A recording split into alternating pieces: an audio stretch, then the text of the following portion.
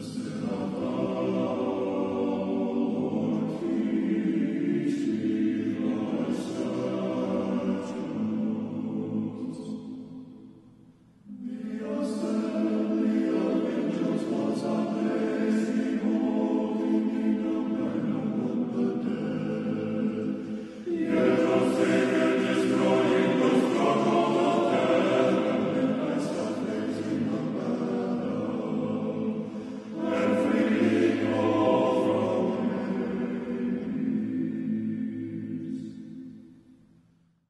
The lecture that you are about to see was filmed in the crypt of St. John of Shanghai in San Francisco, located under the Joy of All Who Sorrow Cathedral in San Francisco, California. After his blessed repose in 1966, the relics of St. John were interred in this crypt, and they became the source of many miracles. With the blessing of the Holy Synod, a small group of clergy led by the ever memorable Archbishop Anthony Medvedev gathered in this crypt on October 11, 1993, to open the coffin for the first time. As they lifted the relics out of the coffin with trepidation and the fear of God, they discovered them to be completely incorrupt. During his glorification on July 2, 1994, the relics of St. John were moved to the cathedral and placed in a special shrine, where they remain until this day. Every year, thousands of pilgrims travel to San Francisco from all around the world to venerate and pray before these holy relics, which were discovered in this very crypt.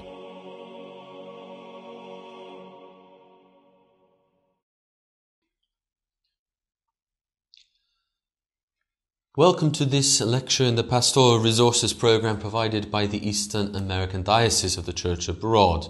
And allow me just a moment to begin by expressing our thanks to the Fund for Assistance of the ROCOR for its generous sponsorship of the work of the program this year. I would like to speak today on the topic of the Orthodox approach to mission and the transformation of the heart of the world. In the name of the Father, and of the Son, and of the Holy Spirit. Amen. How is Orthodox Christianity to envisage and carry out its missionary calling in the world? Well, before trying to answer this very big question, it seems fitting to begin with a few more fundamental ones.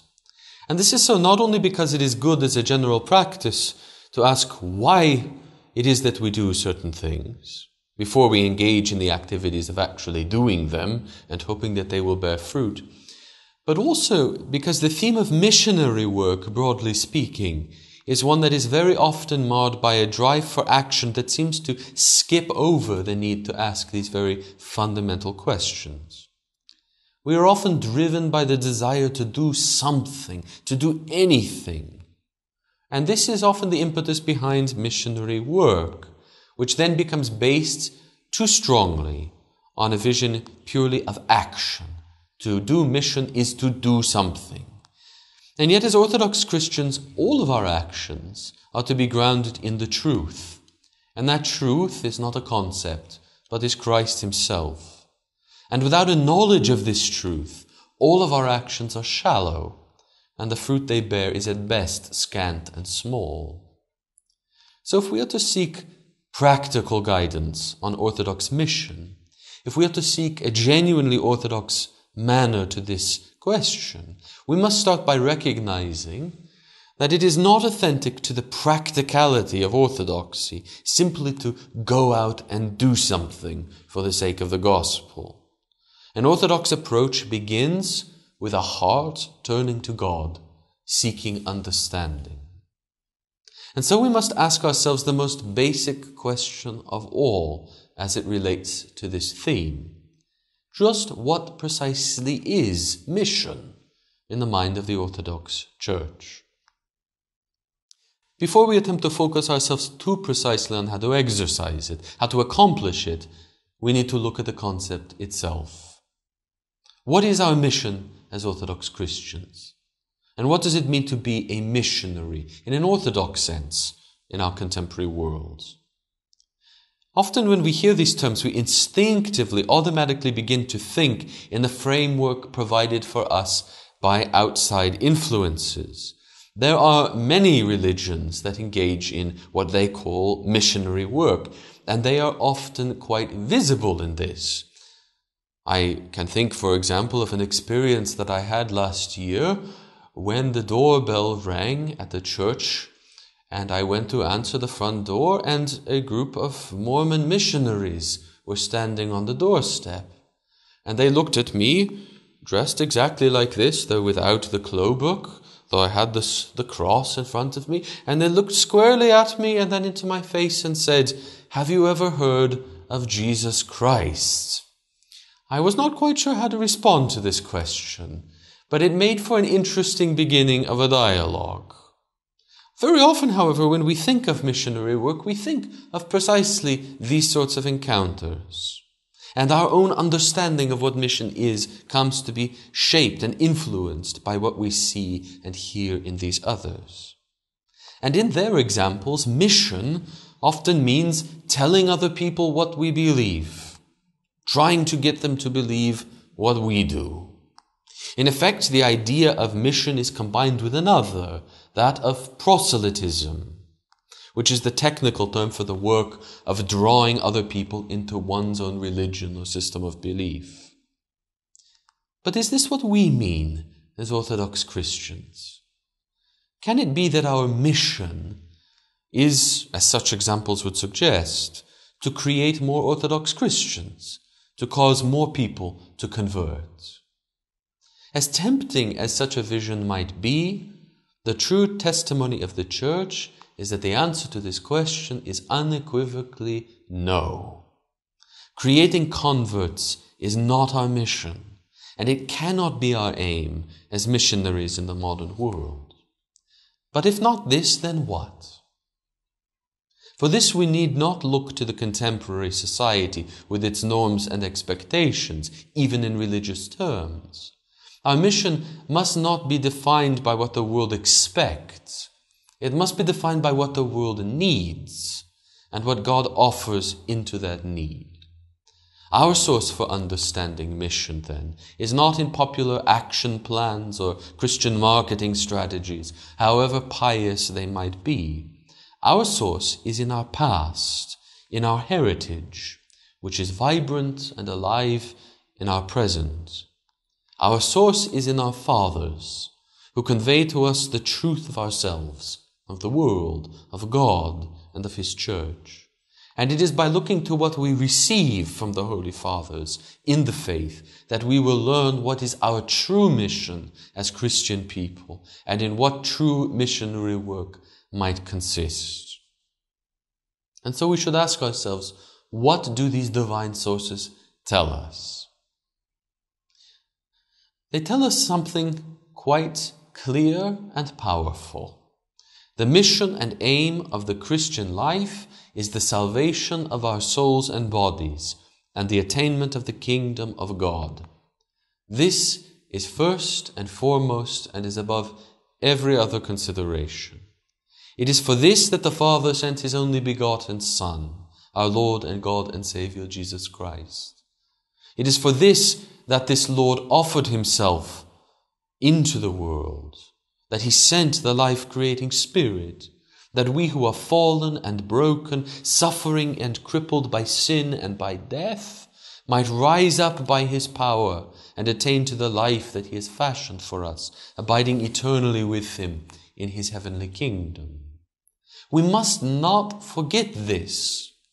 Yet one of the things I feel it very important to stress when talking about mission is that the work of Christian mission precisely does forget just this.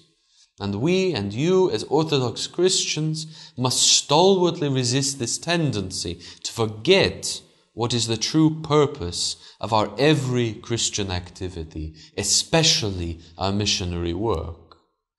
Our aim is not to help the people around us find a more fulfilling life.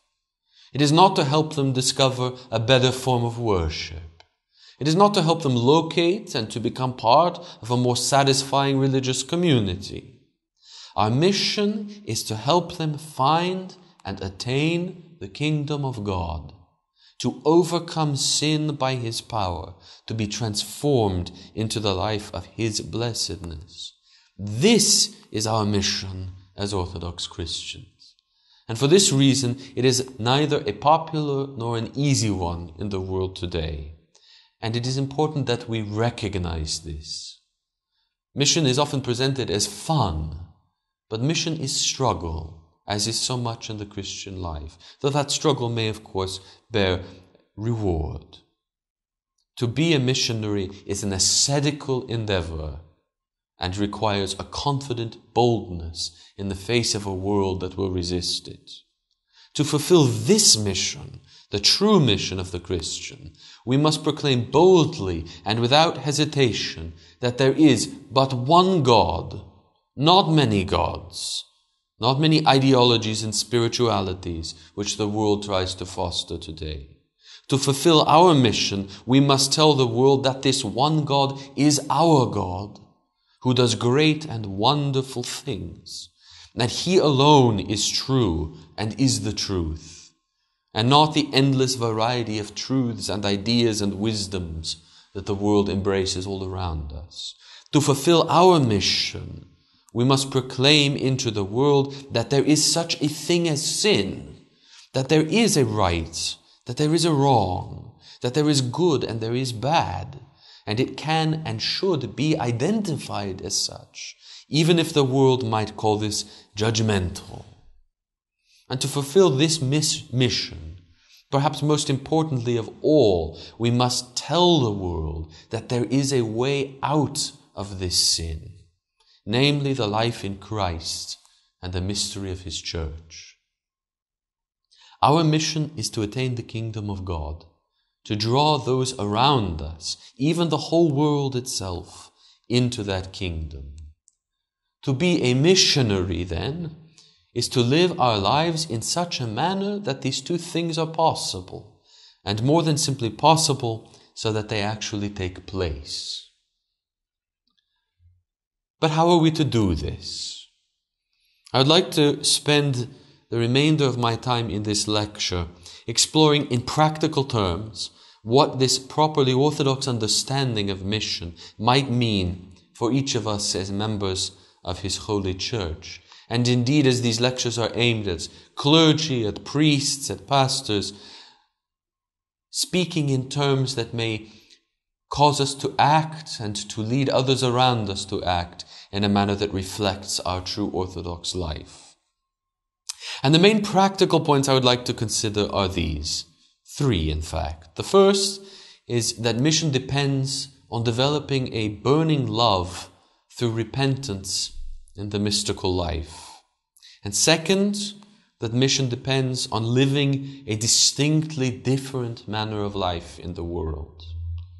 And thirdly, that mission must be a response to the true needs of the world around us. So, firstly, the development of a love through repentance and the mystical life. At the foundation of our, mis- of our missionary work in the world is a missionary work that has to start in our own heart. It is a fundamental teaching of the fathers of the church that we cannot share with others what we do not ourselves possess. And so it is a non starter to believe that we can share with the world a way into the kingdom if we are not working with all of our energy to receive it in our own hearts. The foundation, the very beginning of practical missionary work, then, begins in the heart, in your heart, in mine. It begins with repentance.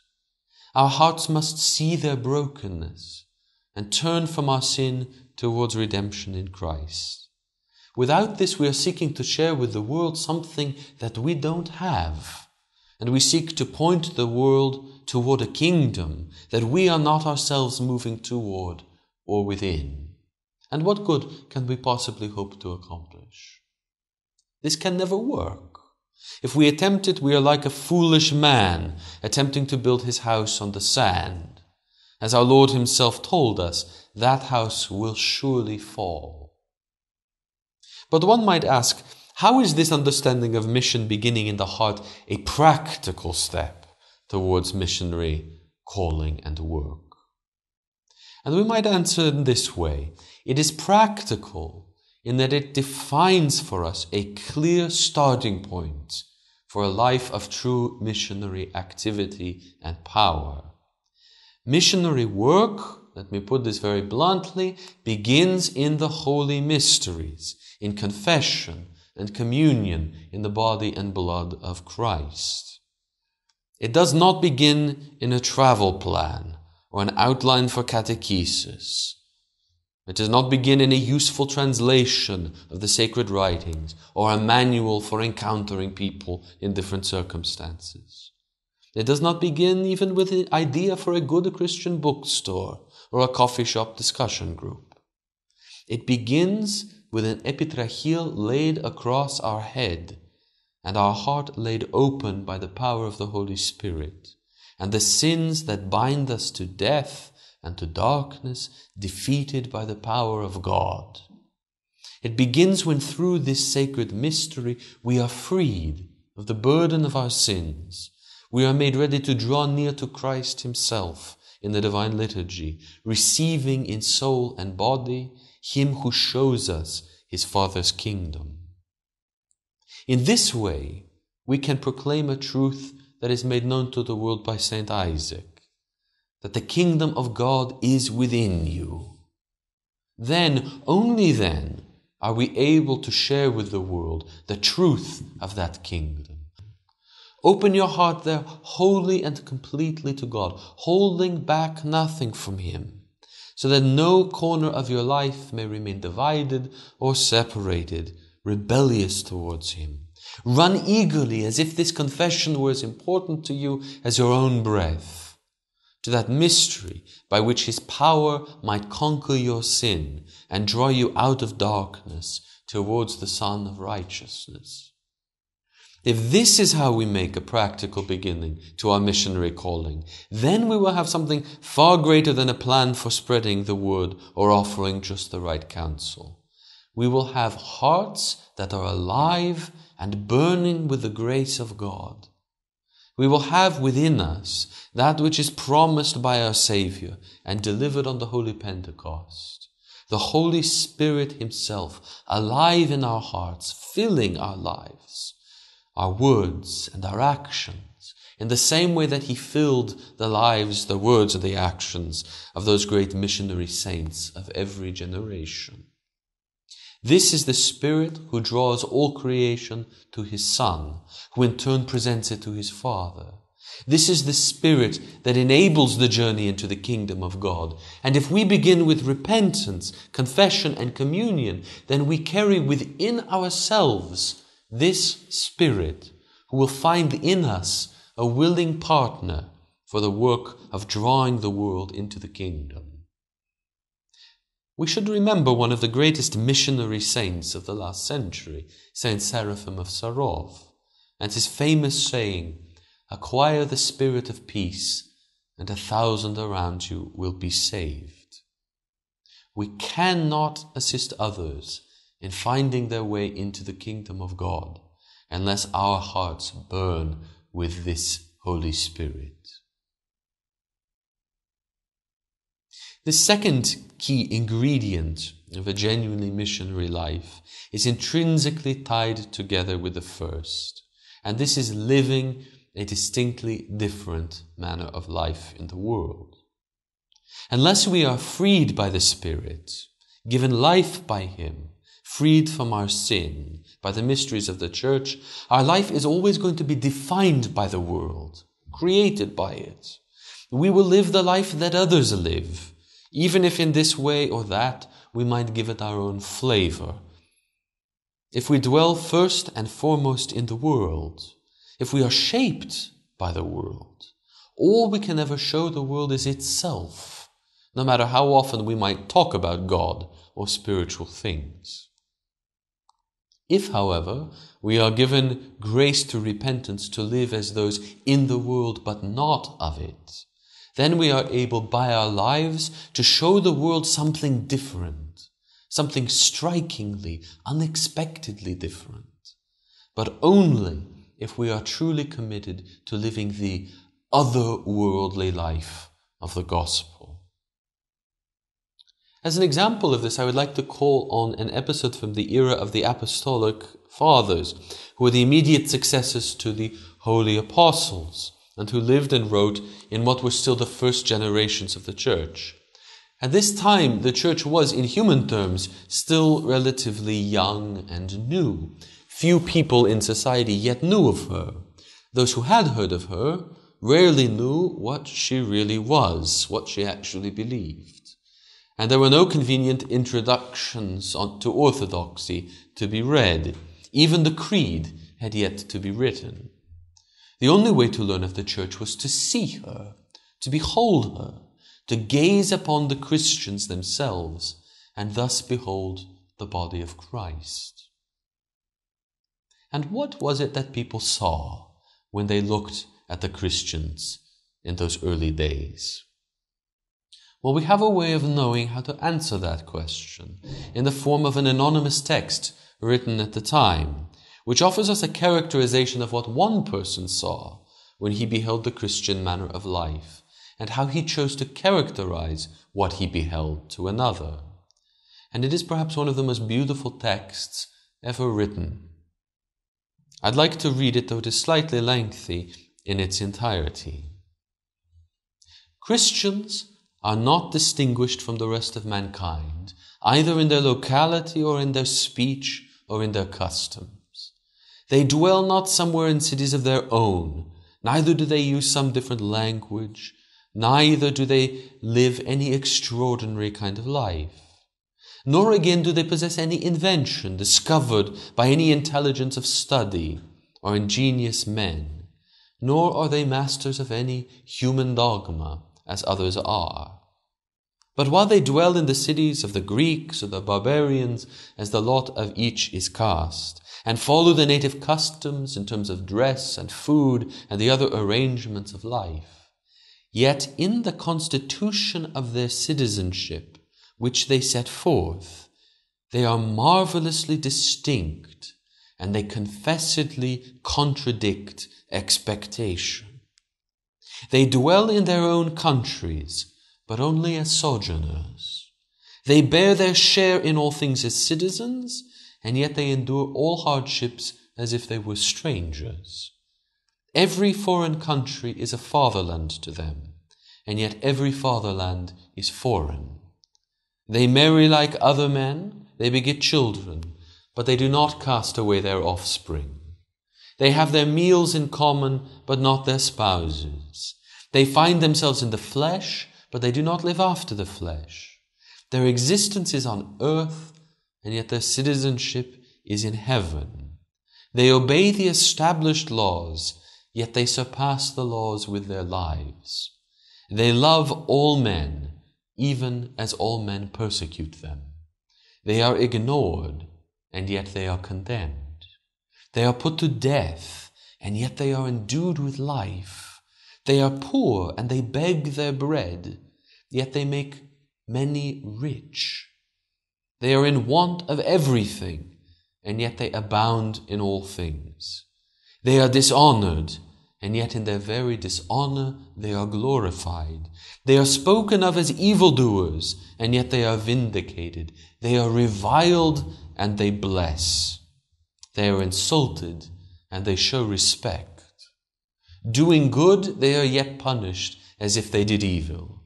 And then being punished, they rejoice as if thereby they were quickened unto life. War is waged against them by the Jews.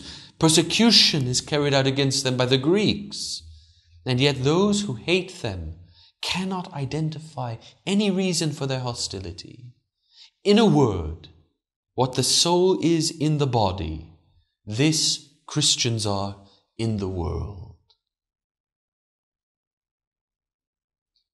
Think of how the early Christians must have lived their lives, that one could look at them and say such things as these. And then we must ask ourselves, what kind of life do I live? Am I living my life in such a manner? Will the world look at me and say such things?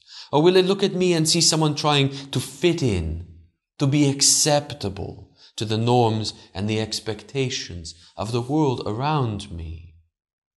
If we are to be genuine missionaries, we must not aim to fit into the world. We must not aim at popularity, at comfort, at acceptability. We must live distinctly different manners of life, so that the world might look upon our good works and thereby glorify God who is in heaven. This brings me to my third main point the need for us to respond to the true needs of the world. It is only when we have a heart transfigured by God's power, when we live a truly Christian life and bear its witness in the world, that we can then see what the world truly needs, and not simply what it thinks it needs, much less what it wants. It is precisely in seeing the difference between true life and the life of worldly desire that we can point to this dimension or to that and say, aha, it is that which must be cured if my patient is to be well. We can then write, must repeat that.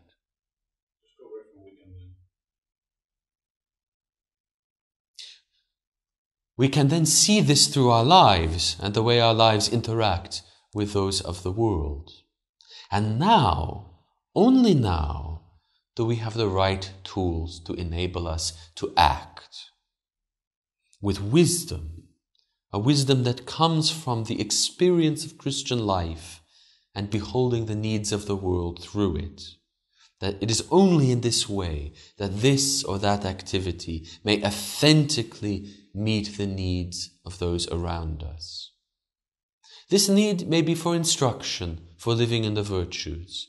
It may be for drawing young people to church activities, but not as simply a social activity, but in direct response to the needs of these specific people. Missionary work is always pastoral. It is named, it is aimed not at the world, not at people generically, but at a person, at a person seeking repentance.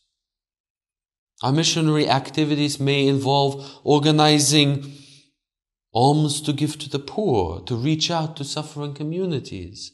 But again, not as a generic good work or good deed that some might see and be drawn towards our example, but as a concrete response to the needs of those who are suffering, responding to that suffering with grace and the potential to transform it into new life. Only in this way will we construct our missionary activities in a manner that will actually fulfill our Orthodox mission to draw the world around us into the kingdom of God. Sometimes our missionary work will be friendly, casual, even, I suppose, depending on the circumstances, a bit playful. Other times it will be formal, even stark, difficult. Not all patients are treated with the same medicine. And if the same treatments, the same cures do not work for every disease. If we are true missionaries, then whatever our state in life, whether we are priest or deacon, whether we are layperson, whether we are old or whether we are young, we are participants in the spiritual transformation that the church offers to the world. We are helpers in that spiritual hospital by which souls are saved.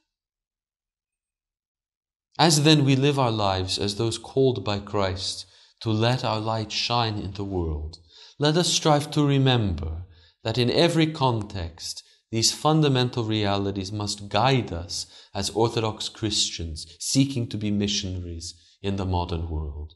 Firstly, that we must begin always in our own heart seeking a burning love through repentance and the sacramental life of the Church.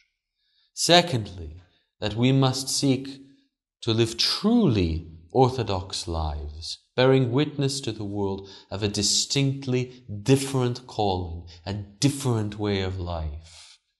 And thirdly, then, in this wonderful life, we must turn to our fellow man to the whole of God's world and seek to respond to its needs, that it may join us in this God given life of grace and transformation. The world does not need more generic missionaries. It does not simply need Christian flavored social work. It does not need it, and it will reject it. But the world desperately needs to be shown the way into the kingdom of God.